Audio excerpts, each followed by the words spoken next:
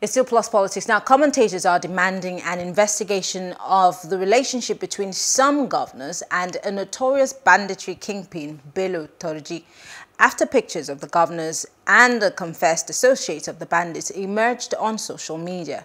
In a picture with Musa Kamarawa, uh, the governors of Zamfara, and Sokoto, Bello Matawalle, and Aminu Tambuwal, and the deputy governor of Sokoto, Mannir Dan Iyya.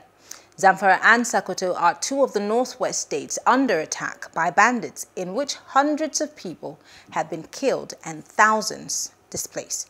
Now, while commenting on the issue, a popular Islamic scholar in Sokoto state who has been vocal against banditry, Murtala Assada, said there are many influential people supporting bandits who, at the same time, are enjoying government support.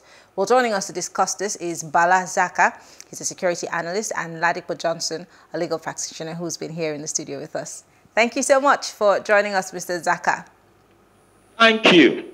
I'm going to start with you because this is your forte. Um, are you surprised by this expose by Premium Times uh, newspaper about this governors, you know, somewhat allegedly in bed with these so-called um, kidnap or banditry kingpins? Or is this an expose worth investigating?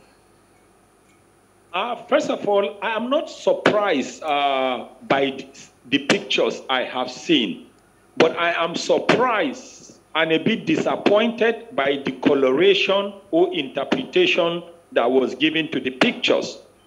Uh, to the best of my understanding, the interpretation that was given to the pictures was that some leaders in the northern parts of Nigeria uh, were, were, were fraternizing or could get close and even take or snap pictures with bandits.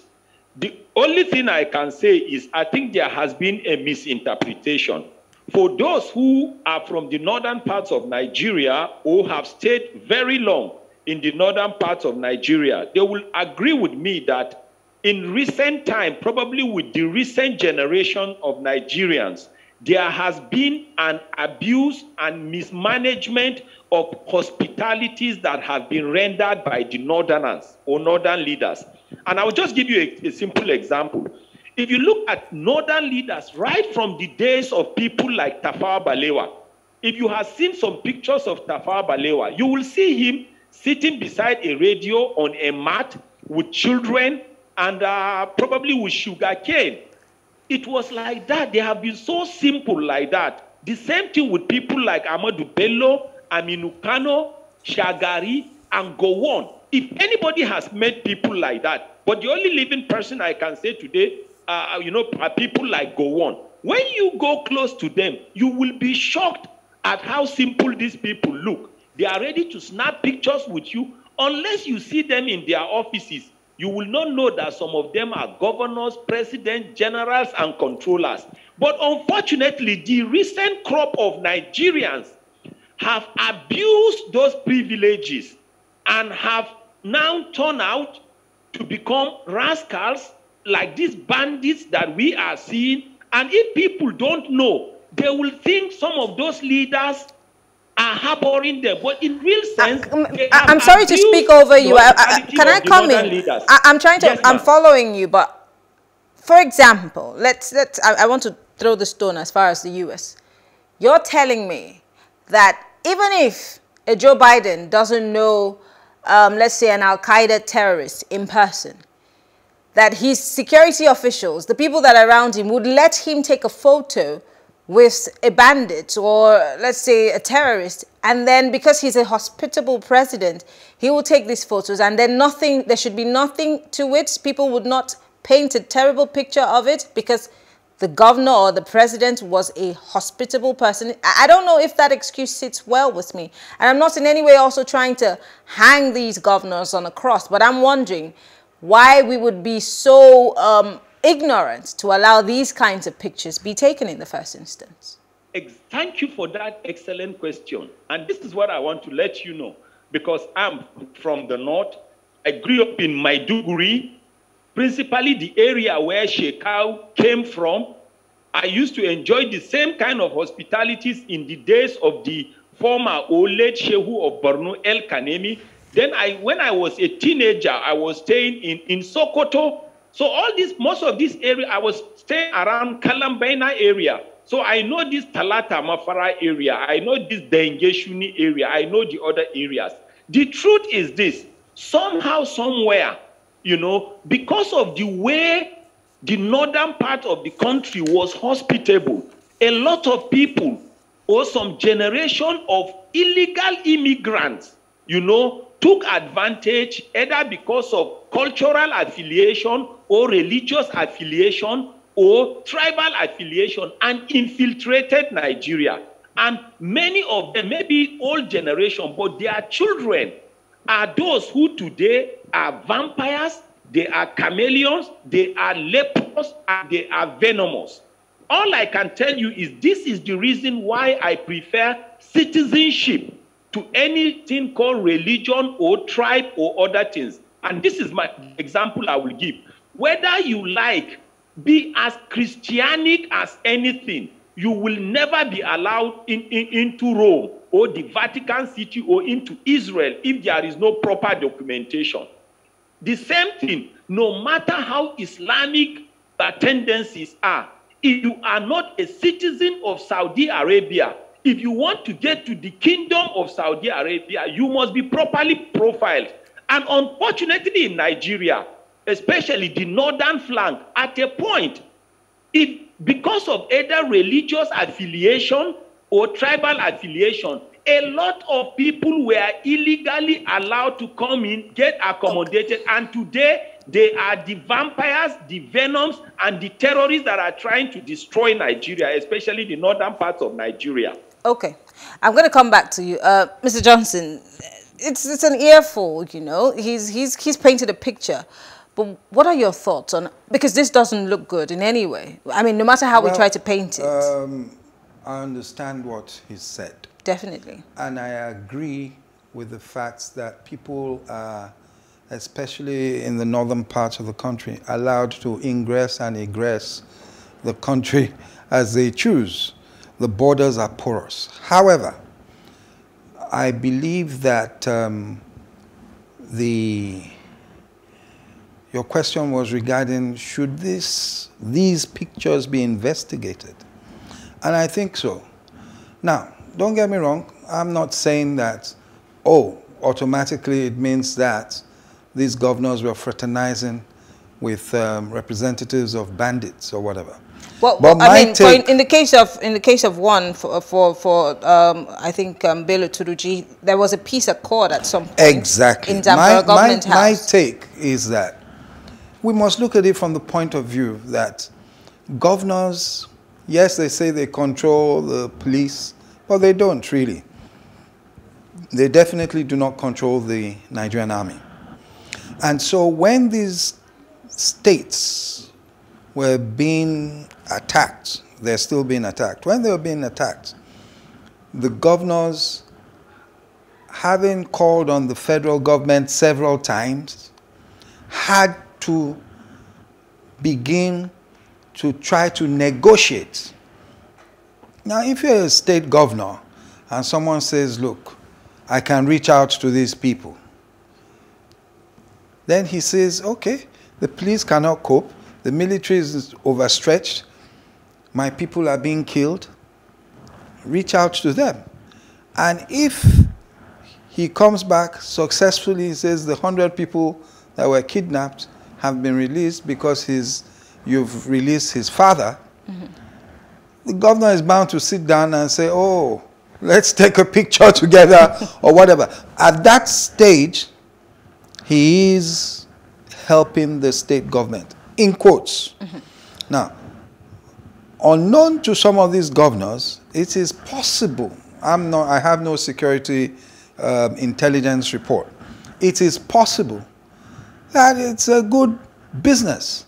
Say, we'll do the kidnapping. You'll be on the inside talking to these people and settling these disputes. It can mm. be that. It could be something else. But after a while, they've seen that naturally, when you're paying them, when you pay a terrorist, you pay whatever, he'll continue. Let me kidnap these 50 students. I'll come up with 200 million. Who will stop? No one. So I think that is where they're at, and that they have realized that the so called negotiators are maybe in bed with the, um, those out in the bushes. Well, I mean, um, a, senior lecturer at the Usman Danfodiyo University in Sokoto, who's from Shinkafi in Zamfara, um, his name is Tijani Salu, um, said the pictures show that um, Mr. Kamarawa is not a normal criminal. He said, and exactly. I quote, we have raised our concerns regarding banditry in the Northwest. Um, it is clearly showing that the highly celebrated young man, Musa Kamarawa, is well connected in his business. Uh, he said, I request the concerned security agents to interrogate him further, to bring to book anyone associated with him in this business, yeah. no matter how highly placed they are. Uh, and, and just as you said, unknown to the governor, I mean, let's not even go too far. The former president, Goodluck Jonathan, had at many opportunities said that there are people who aid and abet um, Boko Haram in yeah. his government. So did President Muhammadu Buhari. So yeah. it should be investigated, right? No, definitely it should be. And at each stage, in fact, the security forces, um, intelligence forces, sorry, shouldn't even be waiting for people to call mm. out and say, oh, investigate this. Such things should be investigated consistently. Mm. You might be president of a country and not have the interests of that country at heart. Mm. You might be governor and not have the interests of your state at heart or your own pecuniary interests may overshadow the interests of the citizens of your state. Mm. That is why you have the DSS. Uh, spend their time chasing someone making a political statement. That's a problem of the thing in this, one of the problems. Mm. The, the army is overstretched because of what they are busy doing in the east. You, you understand? The DSS as well. These are the things, okay, they're negotiating and whatever. Without letting the governor know, you should be finding out these people that are so-called coming to say, oh, we uh, a Greek gift. Hmm. Finally, Mr. Zakka, because we're almost out of time. Again, this is your expertise. You're a security person.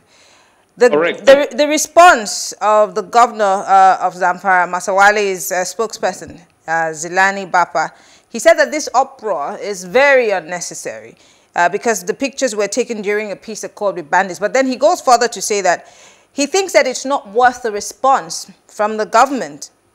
But that, okay, it is okay to respond. His Excellency had engaged in a dialogue um, with good intentions because he was disturbed by the incessant killing of the people. Um, they reached out for a dialogue, but they, they're not even certain if the people they were reaching out to had accepted the dialogue but that they do not think that this is a conversation that needs to be had. But as a security person and listening to what Mr. Johnson has said, going forward, what should be the case? Excellent. And uh, in line with Mr. Johnson, you know, like he said, unknown to the governors. But moving forward, like you rightly said, citizenship should come before tribal, tribal relevance or even religious relevance. Because what we later discovered was maybe a generation from before now of people like Turji's parents. They were probably not even Nigerians. They were not citizens, but they were probably uh, uh, uh, allowed to, to, to, be, to, be, to be here because of either some other affiliations. But today we've discovered that they are chameleons, they are monsters, and they have now become terrorists. And when you talk about terrorists, you are talking about the people that adopt the weapon of radicalism, propaganda, and indoctrination. And their intention is to render any government lawless, to hmm. render the leaders powerless and irrelevant, and then destroy that country. We've mm. seen it now in Turji. As you can see, the governor of Sokoto State is regretting having even listened before. The governor of Zamfara is regretting. The governor of Kaduna State, the governor of even Katsina State, they are regretting that initially they even gave attention, thinking they were dealing with reasonable people or mm. maybe reasonable headers, not knowing that they were chameleons, they are leprous, and they are venomous. Mm, okay. Well, I want to say thank you very much. Bala Zakka is a security analyst and Ladipo Johnson is a, a legal practitioner. Thank you so much, gentlemen, for being part of the conversation. We appreciate it. Thank you. Thank you. All right.